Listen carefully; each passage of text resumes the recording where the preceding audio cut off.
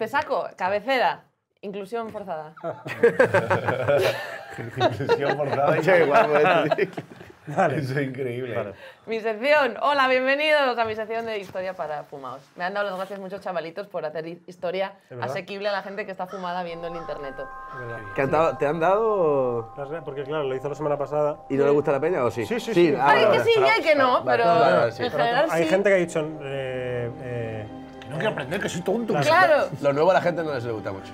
ni aprender. es que A- yo, es inclusión cultural forzada, o sea, aunque no quieran van a, aprender. van a aprender cosas aquí. Entonces es lo que hay. Entonces, como hoy es Halloween, es, pues es la noche, pues, eh, pues que se sale de fiesta igual que cualquier otra noche, pero la gente se disfraza en plan fiesta de la isla de las tentaciones, ¿no? De diablesitas, el típico colega que va de Jack Sparrow. Angeli- angelitos sin alas. Angelitos sin alas. El- a mí me fascinan los chicos que van de Jack Sparrow solamente en Halloween y en Carnaval porque es el único día en el que sienten que pueden llevar eyeliner sin ser juzgados Ya. porque saben que les queda de la hostia. No, yo- porque yo- es yo que a no- los chicos les queda bien. También te fijas mucho en eso porque te encantan los piratas, lo has dicho antes. Cara, cara, cara, Ahí la mezcla, ahí la mezcla. Bueno, pues si no tienes eh, plan, plan de Pero es un buen disfraz ir de, de Amber Heard y de Johnny Depp hoy.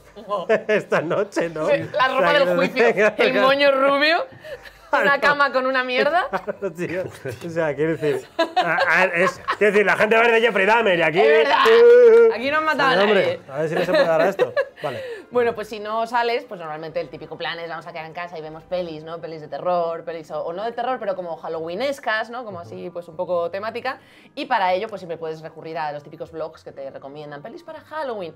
Y una eh, película que siempre se recomienda constantemente es La novia cadáver para Halloween. sí, claro. Eh, tremenda bosta, humeante, asquerosa. O sea, esta película es una Sí. puta mierda. Es una mierda, sí. La verdad que sí, ¿eh? Una mierda, vengo, me alegra que estemos de acuerdo Sí, en esto. Esto es una sí, sí. basura comparada, increíble. comparada, bueno, perdón. Sí, no, no, comparada. No, sí, comparada. Comparada, ¿Comparada? comparada con lo mismo que de este, es una mierda. Es que Eso es. obviamente. Eso es. No Mucho comparada con. Pesadilla antes de Navidad porque esa es de Henry Selick. Ah, yo estaba comparando con eso. No, no, Vale, no, no. vale. Dirigida por Henry Selick, hombre. Vale. Hay que reivindicarle. bien. también. Pues a mí esta película no me gusta por muchos motivos, eh, pero el fundamental es que mi portal de crítica cinematográfica de referencia, que se llama Foco Cristiano, la califica de moralmente ofensiva. He traído la crítica, de verdad que miro aquí todas las críticas de las películas que veo. Estas cosas le encantan a, a Dani, lo Pues, sabéis, ¿no? Christian Dani, Dani se mete ahí. en la- es moral rating offensive, es offensive. Vale. Y he estado mirando las críticas para que me den la razón y dice, una dice, esta película es una abominación, es repugnante y peligrosa para niños o adultos. Como padre cristiano es de esperar que tu primer instinto sea que esto es nigromancia y absolutamente contrario a la palabra de Dios. A ver. Esta peli es una mierda. Es que no quiero, ni Algo- algo decirle- no quiero ni decir esa palabra. Que seguro, que seguro que es Nigromancia racista algo- por seis sitios. tío. Tío, pero el que nigromancia solo, solo lo lees en cartas Magic y en juegos de. O sea, El eso- nigromante, ¿verdad, hermano? Eso no existe, esa palabra. El nigromante. El diablo 2 Cristiano. está. El diablo. Quema una montaña y una maná para activar la nigromancia. Sí, sí, sí. Christian Spotlight, nigromancia. Bueno, pues no puedo estar más de acuerdo que con Christian Spotlight, porque además, eh, ¿para qué vas a inventarte una historia de una novia cadáver de mentira con los labios pinchados? ¿Qué, o sea, ¿qué es eso? Cuando en la vida real hubo una novia cadáver de verdad. Pero de verdad, una que daba asco. Y está inspirado en. No. Ah, Ojo, eh. Una mala. Que quería tanto a su novia que dijo que te mueres, que no, que te vienes conmigo. El La sacó otra vez. PG-13 no lo hubiera sacado, Tim Burton, con la historia real. Ya lo PG-13 sé. no, los niños no hubieran ido. Bueno, pues todo empieza con este man que os voy a enseñar, vamos a verle. Miradle qué guapito. Ahí está. Este hombre. Este hombre se hostia, llama tío. Joder. Carl Tanzler. Ya huele la foto. ¿eh? Hemingway, Sí, tío. sí, Tiene, pinta sí, de. sí, sí. desenterrar- Tenía crocs, de hecho. Tiene Sí. unos pies muy pequeños. Sí, es ¿verdad? algo que me llama poco, mucho eh, la atención. inquietantes, ¿no? Muy chiquititos. Sí, sí, sí. Sí, iba Eh, bien, Ibicenco, iba ahí, ¿eh? Mogollón. Gemelos bien, eh, tal, pero pie. Mogollón. Pues este se llama Karl Tanzler. Karl Tanzler nació en Alemania en 1877, para que nos ubiquemos. Nació en Alemania, pero tenía así como espíritu aventurero y se piró a Australia. Y estuvo 10 años viviendo en Australia, como dedicándose a movidas pues, de ingeniería, de electricidad. Le molaba el rollo inventor, esas cositas, vale. Entonces, eh, el estallido de la Primera Guerra Mundial le pilló en Australia. Y claro, siendo alemán, estás en un país aliado de los ingleses, se pasó los cuatro años de la Primera Guerra Mundial en un campo de concentración en Australia retenido. Yo esto lo explico solo para intentar darle un motivo a que la gente se vuelva cucú. Vale. Me gusta que haya, o sea, cuatro campo de años concentración normalmente sí, como que no casa muy bien con. eh, Bien no sales de sí, ahí. Con entonces- responsabilidad efectiva no casa no, bien. no, responsabilidad efectiva por los suelos. Hace ghosting, dejaba por WhatsApp. eh, No, Terrible. No entra bien. No entra bien. Cartaler Tienes un gameplays para ti esperando. red flag, era una red flag cuando salió de ahí. Bueno, pues eh, el caso es que Carl bien no estaba de lo suyo y empezó a decir que a él le venía en sueños, probablemente cuando estaba ahí encerrado en el campo, le venía una antepasada suya en sueños a decirle que iba a conocer a su verdadero amor y que su verdadero amor tenía esta cara y le enseñaba el rostro de una mujer como era morena y exótica. Y ese sueño lo tenía muchas veces, muchas veces. Esto en Australia todavía. Sí, todavía en Australia. Vale. Muchas veces soñaba, este es, este es el rostro, este es tu verdadero amor. Y él estaba pues obsesionado con que iba a conocer a su verdadero amor. El caso es que la, la mujer morena y exótica pues no terminaba de llegar, por lo que fuera. Así que acabó la guerra y se fue a Alemania de vuelta con su familia. Allí pues se casó con, con una mujer no- que no era ni morena ni exótica y tuvo Es dos lo, que, hijas. lo, que, lo que pone un divorciado en el Tinder, ¿eh? Morena y exótica. Morena y eso diga el título de una exótica. canción de Juan Magán, ¿a que sí? Ella es una chica morena y exótica. La clave está en tocarte la cara. Cara, cara, cara. Morena ay. Que sí, que sí, que seguro que la tiene. La- si no, la tienen borradores. Temazo, temazo.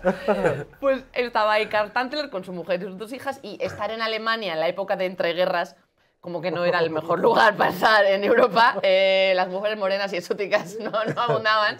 Eh, no querían estar allí, que lo máximo que podías hacer era la cola del paro y tirarte dinero de, de millones y Sí, millones de francos, efectivamente, de marcos que no valían La, nada. la inflación graciosa de Alemania. No había nada que hacer eh, en, en Alemania, así que emigró, como él siempre tenía el espíritu un poco aventurero, dijo, pues me voy a Estados Unidos. Y se fue a Florida a vivir, concretamente, se fue a Florida. Como en esa época no te podían buscar en Google, el tío lo que hizo fue inventarse nueve títulos en medicina. Él llegó allí, yo soy el doctor Karl. Tanzler, tengo título en tal, tal, tal, y claro, vete tú a, comprobar eso a la Alemania de entreguerras. Pues sí, pues ok, eh, damos- Para adelante. Soy doctor. Adelante, doctor. Cara, cara, Soy doctor, sí, soy doctor. Sí, Así sí. que gracias a la Universidad de Invent, Cartancel empezó a trabajar como radiólogo en un hospital. O sea, le hacía ahí los rayos X a la gente sin tener ni, ni puta idea. Bueno, más o menos, pues... Para que sea por el médico de pediatra. De, de- tiene, tiene mocos el niño, ¿eh? Pon la cabeza aquí.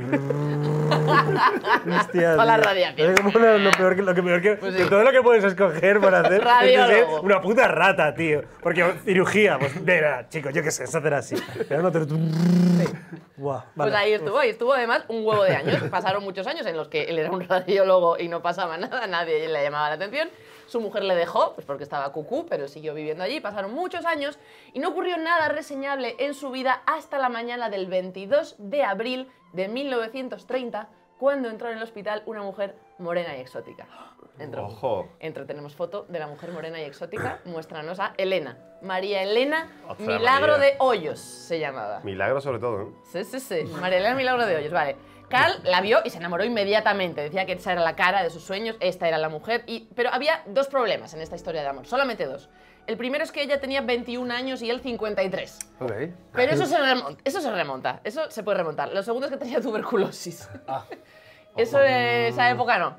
Vaya en esa pack. época De esa no, no, no sales de esa. no, en esa época no salías de ahí. Así que Carl se obsesionó, como era médico, se obsesionó con curar a Elena, intentaba curarla, eh, pero nadie sobrevivía a la tuberculosis en esa enfermedad, prácticamente nadie. Así que lo único que podía hacer era ser un señor muy creepy que le mandaba regalos constantemente, flores, eh, mil cosas y le declaraba su amor todo el rato. La familia, por lo que fuera, era un poco familia de niño de Michael Jackson. O sea, le dejaban hacer. Le, le dejaban. ¡Hostia! Le dejaban. ¡No! Abierto ahí caja de Pandora, ¿eh? ¡No! Les parecía bien. El dinero que entraba les parecía bien. ¡No! La niña, vete con Mamá, el, no vete- quiero ir con el tío vete Michael. con el radiólogo. Oye, Michael Jackson, coño, he hecho una foto con él. Hazle la de ¡Uh! Qué cabrón. Buah. Vete con el radiólogo, niña, vete, vete. Bueno, pues gente. la niña se iba con el radiólogo. gente. Nunca reciprocó su amor. Siempre fue, bueno, pues estuvo un año cortejándola hasta que ella murió. Murió, inevi- ine- inevitablemente murió. Eh, Carl quedó totalmente destrozado, la familia, como aceptaba todos los regalos, pues permitió que pagara el funeral y todo. Y de hecho, Carl lo que ofreció fue construir un mausoleo a su gran amor. Y hay foto del mausoleo, tenemos el mausoleo que construyó el señor uh, Carl. Talder. Un pedazo de mausoleos, Elena Milagro de Hoyos, ¿vale? Solo para ella. Pues Carl empezó a visitarlo casi todas las noches. La foto parece son dos fantasmas, coño. Parece, Sí, En esa época todo era creepy. Carl se, se empezó a mía. plantar ahí casi todas las noches a cantar, a hablar con ella, a, pues a estar ahí, a, No. a estar con ella. Ya sabes por dónde va a ir esto, ¿no? Bueno, eh, pero esto pasó, o sea, pasaron dos años en los que él estuvo ahí, pues tal, Ay, ahí está mi vaya, amorcito". bien. Y empezó a decir que Elena le estaba hablando y le pedía que la sacara de ahí. Sácame. Eh, Sácame, ya empezamos. Ya empezamos. Sácame, sácame de aquí. Así que, eh, pues dos años después de su muerte, se fueron a vivir juntos. Carl, una noche, entró en el mausoleo, sacó el cadáver podrido de dos años. O sea, no estaba de dos días, que dices, todavía aquí algo se puede hacer. Ahí hay huesito eh, ya. Esto era- Cuando la sacó, cuando la sacó, son- sonó la clásica canción de ta, ta, tarara, ¿Cómo era eso? Eso es, eso es. Pues eh, se lo llevó bien putrefacto. Además, cogió una carretilla, se lo llevó en una carretilla, el cadáver ahí pues medio descolgado, claro. Y eh, Carl, escrupuloso no era, la llevó a su casa, escrupuloso no era, pero claro, eso no era ya, ya que era eso, era una montaña de huesos, una, era una mierda. Así que se puso manos a la obra, Carl. Se puso manos Una, a espera, la perdón, obra. una pregunta, Maya. ¿Este Carl es el mismo que el que luego montó una hamburguesería, Carl Jr.? Carl Jr. Y luego, claro, como la tenía que vestir, hizo Karl Lagerfeld también. Buenísimo. Luego le dio por el espacio, era Carl Sagan, era estaba- increíble. Perdón, perdón, pro- prosigamos. Por el terno, Carl Cox, lo que sea. Carl Winslow, es todo. sea, ojo, cuidado, ¿eh? Ah, todo. Karl Marx también, luego empezó una carrera política. Estábamos, estábamos en el punto en el que tenía eh, la, la, ¿no? la Sí. pizza en ristre delante de un saco podrido. Sí, en su casa. Bueno, todavía no tenía la picha en ristre, tenía pues un despliegue ahí ya, en su casa, ¿vale? Es que no se podía hacer nada con eso, ¿para Claro, qué la picha en ristre? Como mucho hace un puzzle, ¿no? O sea, Claro, igual coger solo los pies, si era, si era de eso. ¿Cómo follar sin puré de lentejas? Con pellejo. Claro. Qué asco, hermano. ¿te, te gusta la pringa? Ah, tío. Oh. Qué asco. Bueno, yo os voy a decir lo que hizo Carl para que eso sirviera para algo, ¿vale? Le unió los huesos entre sí con alambres, porque claro, los ligamentos, eso ya out. Entonces, con alambres de perchas, los unió para que, pues, pues el esqueletito, ¿no? Que fluyese de... Fluyendo, fluyendo. De mar- Eso es. Bueno, le cubrió la piel o lo que quedase de, de piel putrefacta con seda impregnada en cera y escayola. Wow. Mejunje Art Attack. O Sí, sea, sí, sí, eh, sí, sí, sí. Efectivamente. Eso hizo, hizo efectivamente. la piel. Luego, eh, claro, estaba un poco como, como desgalichada la pobre, entonces para que siguiera estando sexy, estando thick, la rellenó con trapos para darle forma. Para que el cuerpo pues tuviera sus curvitas. Su cosita, claro. Claro, sus cositas. Ah, noche de lujuria. Claro, luego su, su bello rostro ya pues ya no, no recordaba mucho a lo que fue, entonces lo pintó él. Él le pintó la cara. Perfecto. En el Mejunje Art Attack pintó una carita, pues la cara que él recordaba de ella. Le cambió los ojos, que ya pues ahí poco ojo había, por ojos de cristal, para que tuviera una mirada. pues, Qué, qué- qué detalle, detalle, ¿eh? Gustándose, ¿eh? que me ha llegado de Amazon. A que te mira los ojos. Upgrade, upgrade. Claro, poquito a poquito. Le hizo una peluca con pelo de ella que había guardado la madre, bueno, movidas locas de cosas de muertes. Una peluca con su propio pelo para que tuviera su, su melenón. La perfumó para que oliera todo eso bien. O sea, espera, espera, espera, espera. Entonces él le tuvo que decir a la madre. Le que pidió, le- sí. Y la madre estaba de acuerdo con todo esto. Ella no sabía que se habían llevado el cuerpo, pero cuando su hija murió, él le pidió, ¿podría quedarme parte del pelo que se lo habéis cortado y tal para O sea, recordarla? Sí, las- ma- los padres de los hijos que iban con Michael Jackson. que- Sí, es que sí, es sí, así, sí, rascándose así. dame un, dame un saco de pelo de tu hija. buscándose las llaves ahí, Un bebiendo saco- pelo. Un saco de pelo de tu hija. Bueno, una pues- cosa, por una cosa. Pues le puso la peluca, la perfumó y la vistió. Imagino que querréis ver el resultado. A ver, por favor, Pues estoy vamos a ver, deseándolo. vamos a ver. ¡No puede ser! Era lo- justo lo que yo me esperaba, vaya. eh, La misma cara que tenía en la mente. ¿Y esa nariz? O sea, ta- Y, esa- y esa boca. De hecho, esta es la Y esos 7, había otra que era la 6, creo. Había una anterior. ¿No la metí? Está preciosa, ¿No ¿eh? la La metí muchacha. yo? ¿eh? Ah, pues tiene que haber una más. Qué He locura. fallado, he fallado. ¿Cómo? Vamos a buscarlo. mi a buscarlo. pendrive? Se puede buscar, se puede buscar eso. Sí, Google, sí, ¿no? sí. María Elena Hoyos. Qué locura, ¿no? Se llamaba María Elena. Hoyos. Para muchos un cadáver, para Hoyos, Carl así. su primera vez. Ahí está. Esa es la que te puse. Esa, el esa, esa es. Nos fuimos. Esa es la carita, esa. Hermano, Esa. eso no Oye. es. Eso no es. eh, ¿Te acuerdas cuando, cuando. ¿Cómo se llama eso, tío? Se me ha olvidado. El.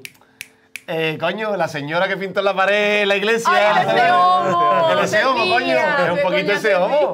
Oye, también tiene un poco la cara de Rasé II cuando lo sacaron de. También. un poco así, ¿eh? Modificado. De Leatherface también un poco, ¿no? Hay como- Y tiene una nariz de, de- de ir mucho al branch. La piel que habita, ¿eh? Está bien que regular. Tiene su mérito, ¿eh? Modelar A eso ver. ahí en un cadáver. Tiene su mérito, Darío, Pero que que- está pasando un poco mal. No, a ver, me está dando- es que estoy mal de la tripa. No, o sea, quiero decir, no ayuda.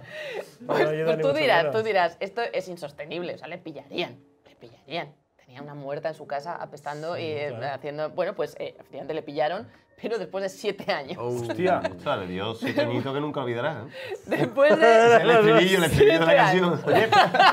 De, de, de Juan Magán. Morena, yo soy, ay, ay, ay, ay. Siete añitos. Pero ¿cómo la pillaron? O sea, ¿cómo fue? Pues lo pillaron porque la hermana de María Elena Hoyos empezó a mojearse, pero dijo, el señor este, el Michael Jackson, no vaya al mausoleo.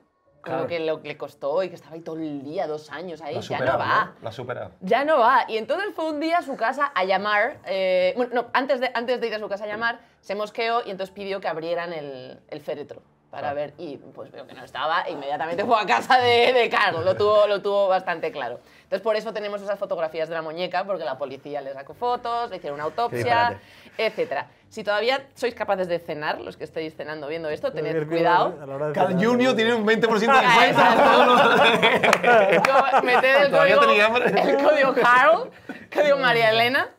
Eh, pues es que al cadáver se le hizo la autopsia, como ya he dicho, y en el momento no se dijo nada sobre esto, no sabemos si porque en esa época pues igual poner eso era un poco too much, pero años después dos de los médicos que hicieron la autopsia a María Elena Hoyos dijeron que eh, Carl había reconstruido la vagina con un tubo para poder mantener relaciones sexuales. Ojo, ¿eh? O sea, había cierta ingeniería. Y sería crunchy, claro, porque eso Sí, sí, sí. sí. o sea, la- la escayola ¿Cómo que vale, sería Sí, crunchy. sí, sí, sí. Pero si, si es un tubo, de que hay que ver de los materiales que está construido Claro. el tubo primero. Y a partir de ahí ya Que sí es el creador de Plátano Melón. y así, Maldito acumulación. El de la casa tenía título de todo, ¿sabes? Dueño de no sé qué. de- los nueve títulos que tuvo en un principio, luego lo acabó haciendo. Ahí señores. Ahí lo tenéis. Claro, por eso no se Pero puede para esto sí que tenemos un 25% de. Pero no hay fotos de la vagina de María Elena Hoyos, así que nunca Oh. ahí lo da. Pues Qué pena, qué pena para estas horas. Dime que esto lo presentaste una vez en Zapeando y dijeron, por favor, no. He, he presentado con las más lights y me han dicho que no, o sea que soy tan feliz en estos momentos ahora mismo, o sea, no sabéis, no sabéis la terapia que me estáis ahorrando. Qué maravilla. Pues lo más bonito de esta historia es que para cuando encontraron el cadáver en la casa de Carl, el delito ya había prescrito. Ah, guapísimo. Así que la familia no pudo hacer nada más que volverla a enterrar en una tumba sin nombre. Pero, Pero con una claro, cara más bonita que. que- Oh, eso sí, eso sí. Una- la más bonita. em, Sin nombre para que no se buscase de nuevo, ¿no? Oye, la para que no la necrofilia es delito. un momento, un momento. Hay foto final de Carl con, con la cara de, Pregunto por un de colega, ¿no? Elena, que Esto es la por- última que puse esa, con, tu, Hostia, con qué la fuerte. fotito. Pero esto, pregunta para abogados del chat. Como hizo la, la señora de- del Ece Homo, imagínate, ya ha prescrito su delito, por lo tanto, tal. Pero si él en ese momento hubiera considerado que era una obra de arte hecha por él, de su. ¿Qué Ya, hubiera ya, pasado, ya, brother? ya. O sea, ahí qué hubiera pasado, porque lo mismo no tenía un buen abogado. Pero, ¿y si lo hubiera dicho? Dice, no, es que esta es mi obra de arte que la he hecho yo. Buah, chaval. No tenía abogado porque él era el abogado de la de Kim Kardashian, el que cogió Simpson. de ¿sabes? O.J. Simpson, Y ahí cierra todo el círculo. Efectivamente también es el autor de Legalitas, la persona que inventó el gabinete de abogados, eh, más conocido Maldito Car, de ¿eh? la Cómo es, tío. Española. Wow. Pues esta es mi maravilla. historia Carlito para los colegas, ¿no? Carlito, Carlito ya. La novia cadáver para especial Guapísimo. Halloween para los chavalitos. A mí siempre me gusta hilarlo un poco con experiencias de la vida real. Os quería preguntar si habéis practicado la necrofilia. Y se ríe. El primero que se ha reído. Se ha reído en Y se ha plan. Naruto. Y se ha arrancado. Quizá alguien conmigo sí.